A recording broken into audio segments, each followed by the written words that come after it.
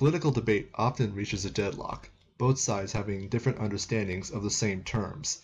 It's like they're speaking a different language, both sides asserting their definition is correct, rather than focus on what the discussion was originally about. The purpose of the Defining Terms series is to be a reference, to explore terms, philosophies, and ideas, and explore their history, what they are, and why people believe them. I want to lead with my biases. I am an anarcho-capitalist. Nevertheless, I will do my due diligence to be as fair and unbiased as possible, even for philosophies I strongly disagree with. My goal being to eventually define communism in such a way that communists regard my definition as fair.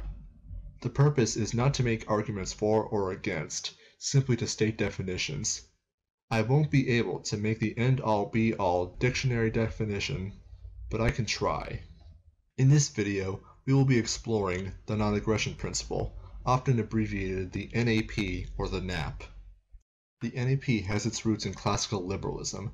In 1689, the classical liberal political philosopher John Locke wrote the following in his second treatise of government: Being all equal and independent, no one ought to harm another in his life, health, liberty, or possessions.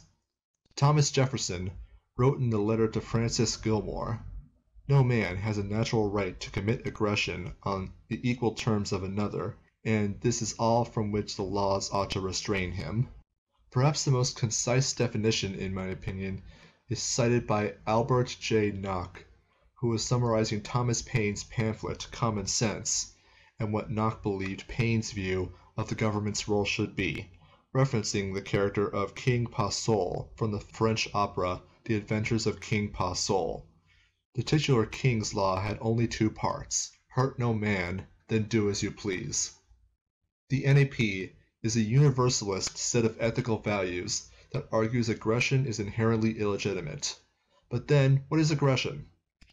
Aggression is the initiation of coercion. Coercion being deliberate action, either through violence, threat, or deception, to alter someone's condition against their will.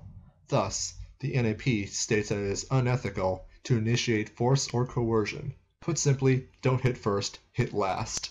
Self-defense, or defending another against an aggressor, is perfectly legitimate.